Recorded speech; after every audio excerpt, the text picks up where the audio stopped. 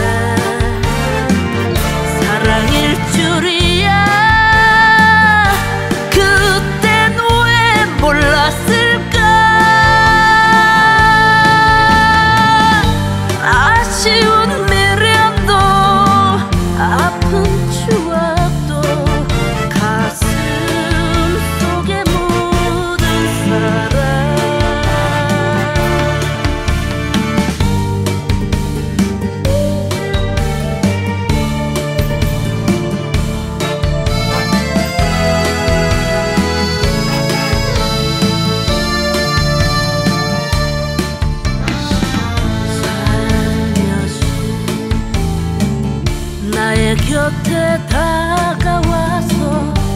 사랑의 꽃이 뿌렸지